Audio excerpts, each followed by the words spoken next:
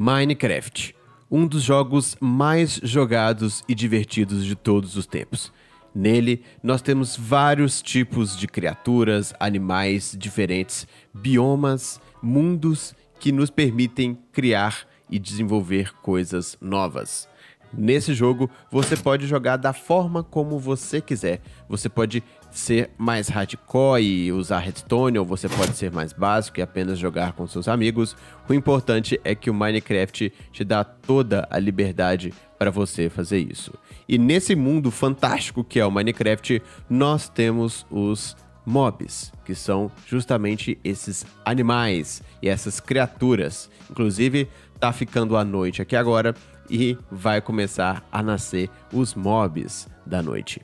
Nesse vídeo eu vou mostrar para vocês 10 mobs do Minecraft Bedrock e suas fraquezas. Inclusive, se você não conhece o Minecraft Bedrock, não sabe qual a diferença entre o Minecraft Bedrock e o Java, vai aparecer um card aqui exatamente agora explicando para você a diferença, ok? Começamos a nossa lista com o Enderman, um dos mobs mais antigos desse Minecraft e inclusive um dos mobs, é, ele é passivo até que você olhe nos olhos dele, ele fique nervoso, né, e começa a te atacar, mas o Enderman tem uma vulnerabilidade, que é justamente a água. Olha só o que acontece quando o Enderman entra em contato com a água. Ele toma dano e começa a se teletransportar.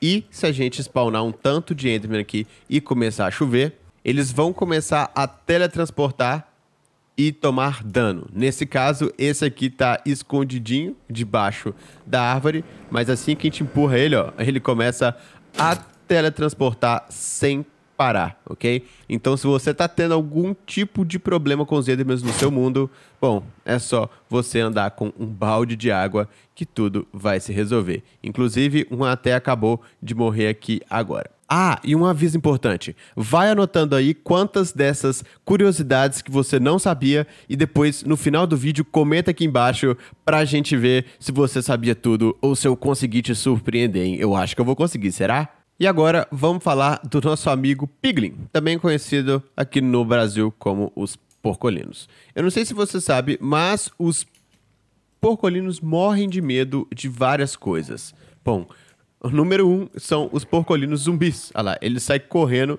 dos porcolinos zumbis, por mais que eles sejam primos, digamos assim, né? Então, ó, ele sai correndo, morre de medo, sai, olha lá, foge, corre. E a outra coisa que ele também morre de medo, uma vulnerabilidade dele, é a fogueira da alma. Ó. Ele não gosta da fogueira da alma, ele sai correndo de perto, assim como a lanterna da alma e a tocha da alma.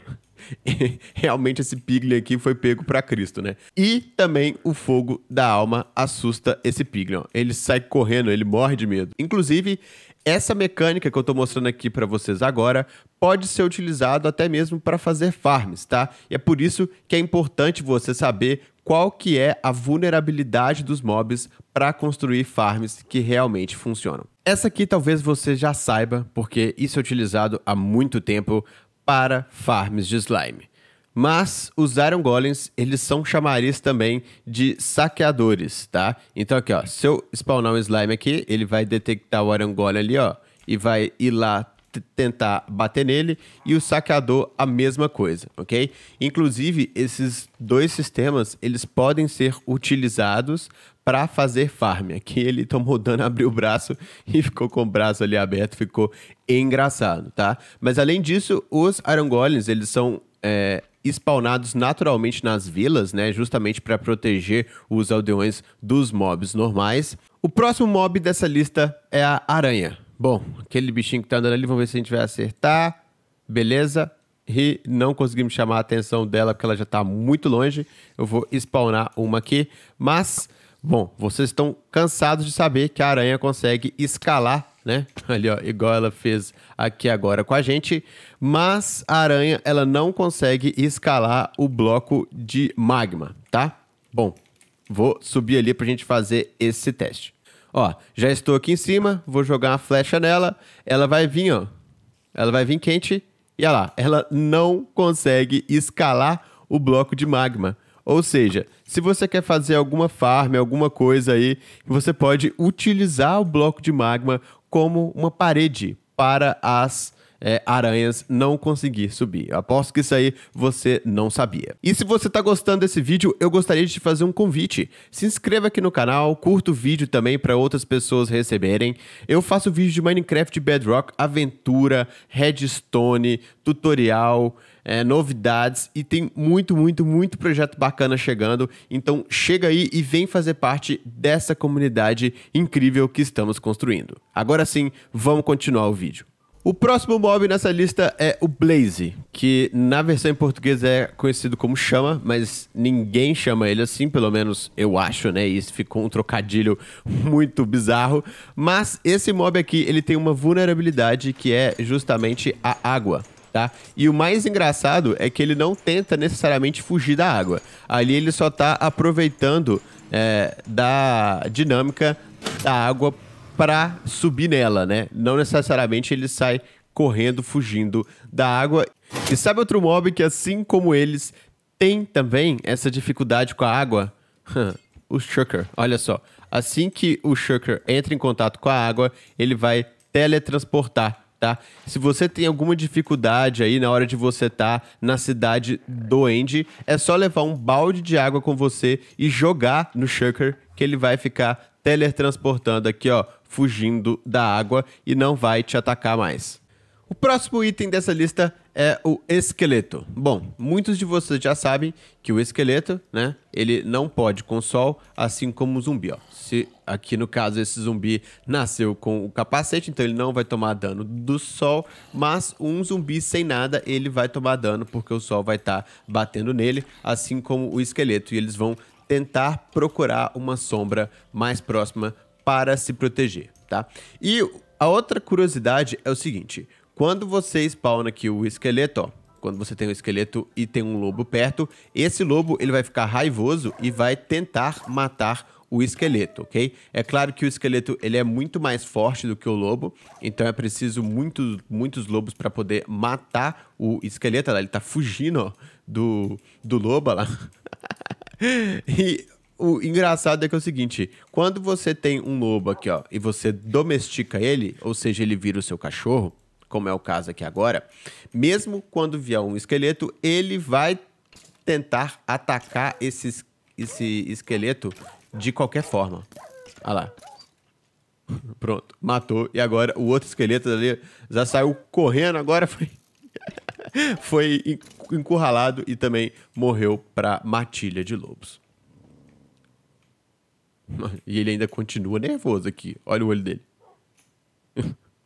o próximo dessa lista, recentemente eu descobri e eu fiquei assim, cara, eu não sabia disso. É uma coisa até interessante que pode ser utilizado para criar uma farm também e no seu próprio mundo aí é o seguinte: o esqueleto Wither, esse bichinho aqui que nasce nas fortalezas do Nether, eles não gostam de lobo.